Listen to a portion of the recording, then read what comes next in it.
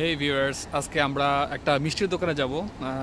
এই মিষ্টির দোকানটা সম্পর্কে শোনা যায় যে আগে এটা কোনো কলকাতার বাঙালির মালিকানা এই দোকানটা ছিল বাট পরবর্তীতে এটা বিক্রি হয়ে যায়।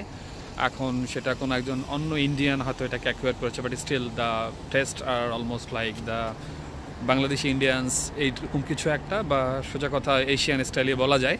তো আমরা একটু একটা কুইক লুক নেই, কেমন লাগে দেখতে রাইট আজকে আমরা এই সুইট মহলেই যাব। দেখি একটু সুইট মহলে ওদের মিষ্টির কালেকশনগুলো কেমন, একটু দেখার চেষ্টা করব। হোপফুলি আপনার একটা আইডিয়া পাবেন কেমন মিষ্টি পাওয়া যায় এখানে। আমরা একটু মিষ্টির কালেকশনগুলো দেখার চেষ্টা করতেছি। লাইক যেমন আপনারা দেখছেন, এটার price regular sweets six dollar per LB then এখানে বেশ ভালোই কালেকশন আছে। এখানে আমি একটা আইটেম দেখতে পাচ্ছি। লেখা Bengali sweets nine dollar per LB তার মানে এটাই হয়তো বা বাংলাদেশিদের এক সময় ছিল, তার একটা প্রমাণ হতে পারে। ওভারঅল এখানে কাস্টমাররা অন্য সার্ভিসও পেয়ে থাকেন লাইক সামান্য কিছু ব্রেকফাস্ট টাইপ অন্য ভাজি টাইপের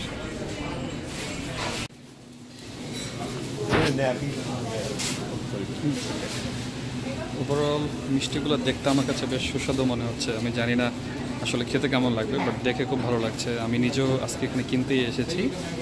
সো জাস্ট এই তো, আপনাদের সাথে একটু পরিচয় করে দেওয়ার জন্য যে কানাডাতেও মিষ্টি পাওয়া যায়, বা মোটামুটি আমাদের দেশে আমরা যে ধরনের পাই, হয়তো দামটা একটু এদিক ওদিক বাট কোয়ালিটি খারাপ হয় না, মোটামুটি। Yes and one found this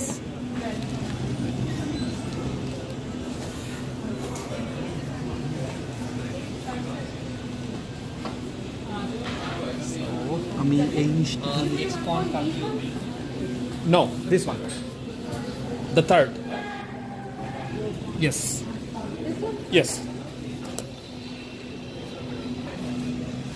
So আমি এই মিষ্টিটা নিলাম আমার ভালো লেগেছে এবং এই মিষ্টিটা মোটামুটি অনেক কালারফুল মিষ্টি এখানে দেখা যাচ্ছে বেশ ভালোই লাগছে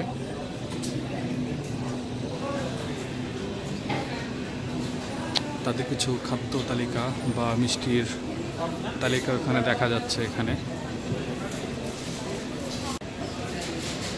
Wow look at the packets like প্যাকেটগুলো অনেক বেশ রং বেরঙের খুব সুন্দর মনে হচ্ছে আমার কাছে, খুবই মানে মোহনীয় এক কথায়।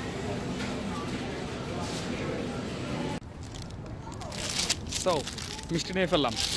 এরকম ছোট ছোট বিষয়গুলো নিয়ে সামনে হয়তো বা আরও ভিডিও করব চিন্তা করছি।